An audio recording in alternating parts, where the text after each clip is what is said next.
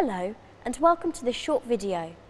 We've put together some handy hints to help you keep your Skoda in tip-top condition. The way to opening a bonnet can vary from car to car, sometimes making it a tricky business. Whenever investigating anything under your bonnet, make sure that the engine is switched off and the whole car is cold. Also try to ensure the car is in a safe place. Open the bonnet of your Skoda, look for this lever, which can normally be found in the driver's footwell area. However, on some Skoda models, you will find it on the opposite side, in the passenger's footwell. Pull the lever upwards until you hear the bonnet release.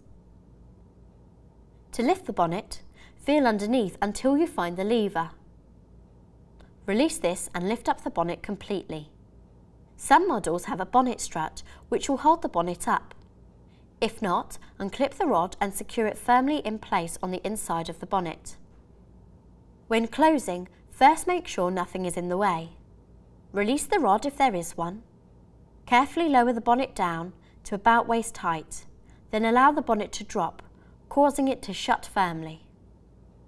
Double check it is shut, but avoid pressing the bonnet down, as this can cause damage. Skoda. Simply clever.